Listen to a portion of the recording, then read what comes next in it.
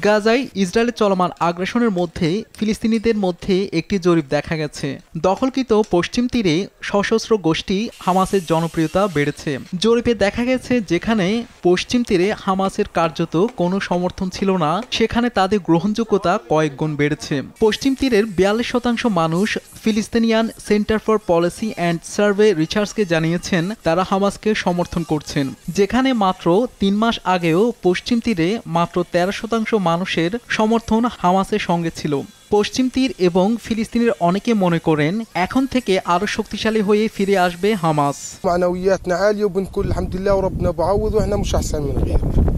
আলহামদুলিল্লাহ রবিল আলমিন